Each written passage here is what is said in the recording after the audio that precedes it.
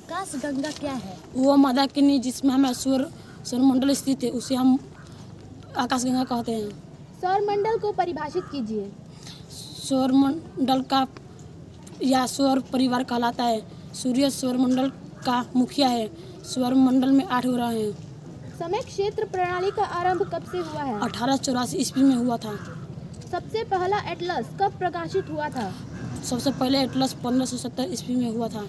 मानचित्र बनाने के महत्वपूर्ण चरण लिखिए मान मानचित्र के तीन चरण पहला स्वेक्षण दूसरा पर्यवेक्षण तथा प्रतिलिपि है। आकाशीय पिंड किसे कहते हैं?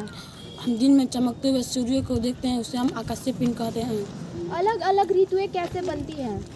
पृथ्वी के पतिकरण के कारण अलग अलग ऋतुएँ बनती हैं। चुंबकीय दिक्सूचक के क्या लाभ है? विस्तार से समझाइए। दिशाएँ पता लगाने के लिए सर्वेक्षण नहीं नहीं